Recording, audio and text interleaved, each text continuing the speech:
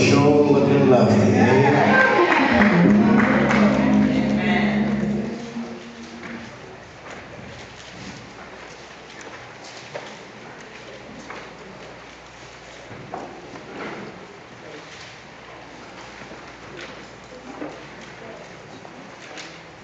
Good morning, family. Good morning. Such a blessing to be here this morning. We're on a long vacation, but it's definitely, I'm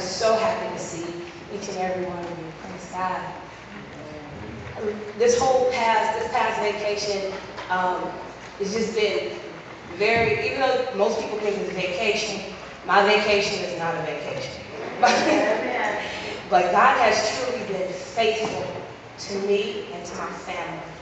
And I just want to continue to bless his name because of his faithfulness. And that's why I definitely sing, Great is thy